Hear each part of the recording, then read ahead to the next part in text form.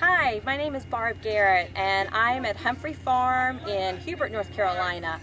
We are in the process of setting up for tonight. We are having the fall fair at the farm.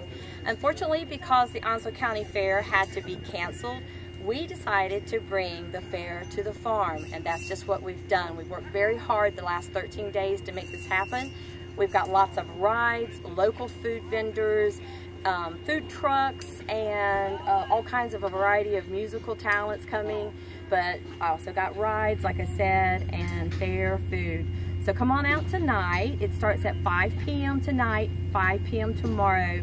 Gates open Saturday and Sunday at 12 noon. The prices and a lot of the details are on our website at www.humphreyfarmnc.com. And on behalf of myself and the entire Humphrey family, we hope to see you out here.